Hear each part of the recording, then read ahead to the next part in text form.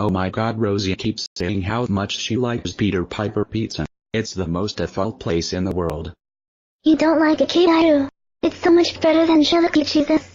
No it's not Rosie. If you don't shut the frit up then I will kill you now get out of my room now. What? That gives me an idea. I will kill. Wait no sue Peter Piper Pizza. That way I can watch Rosie suffer. And I know just host.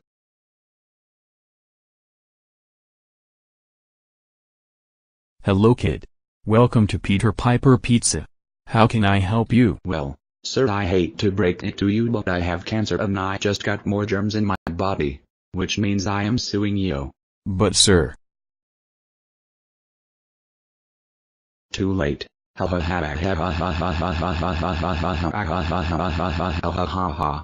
Ugh. I hate my gob. The sewer and the defendant come in here. Everyone. This is Caillou. The sewer and this is Charles Bruce. The owner of Peter Piper Pizza.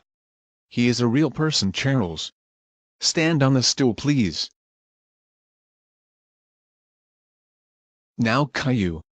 Please sit All down. right. rise for the court judge MR poops a lot.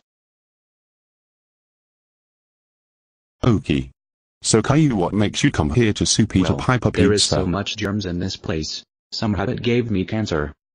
Is this true Kells? Have you not been taking care of What it? kind of question is that? Yes. I take care of my restaurant. What the hell was that question for? Oh my god. I can see a Google Satellite tracker inside the building. I'm going to say this time. Go get one million dollars. Or. You can go to jail. Case dismissed. Yeah, I got all this cash for suing Peter Piper Pizza. You did what? Mommy. can you just sued Peter Piper Pizza. You got $1 million, Caillou. You do know what this means. You are ungrounded. Let's dance. What? Thanks mommy. Wow.